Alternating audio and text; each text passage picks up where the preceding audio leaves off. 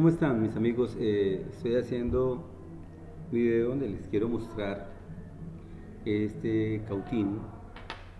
Es un cautín especial, puesto que la punta entra directamente sobre la resistencia, es una resistencia cerámica. Podemos observar cómo en este cautín la punta entra dentro de la resistencia. Esto obviamente le da unas características especiales y aquí tenemos el sistema que asegura la punta. Aquí hay un detalle muy interesante y es que el tornillo que la asegura está en la base del cautín que es la parte donde menos se va a calentar. Luego no vamos a tener el problema de que esta pieza se nos recalienta y se nos pueda esto pegar por el calor. Va a ser fácil quitarla y ponerla. Este es un cautín de 30 vatios, eh, bien construido.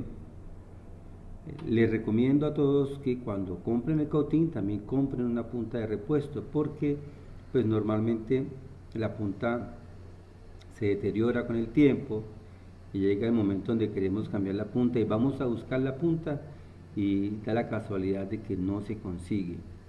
Entonces eh, he tenido cuidado de comprarme una punta de repuesto para poder en un momento determinado pues reemplazar la punta que ya esté desgastada por otra.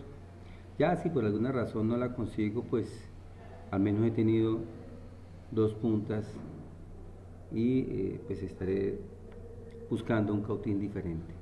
Les recomiendo entonces a todos mis amigos que trabajan en electrónica este tipo de, cautón, de cautín que es más conveniente por lo que no vamos a tener ese incómodo eh, sistema de ajuste de la punta que eh, en algunas oportunidades es aquí, aquí en la punta atornillada, eso se, oxida, por el calor se funde, se nos parte, muchas veces se nos parte la punta porque obviamente queda tan fijada a la base del cautín que al tratar de sacarla se rompe y Obviamente ya después de que se nos parte, obviamente tenemos un serio problema para poder reemplazar la punta.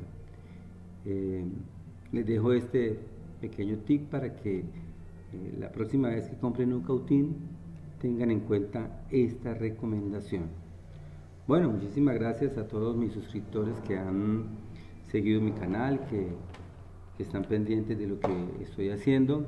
Espero poder eh, seguir siendo lo más útil posible con esta información para todos ustedes y que eh, estén muy contentos y que aprendamos mucho. Muchísimas gracias y hasta luego.